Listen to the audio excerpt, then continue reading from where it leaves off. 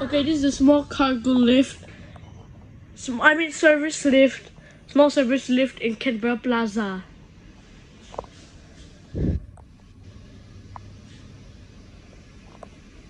Here we are, level three.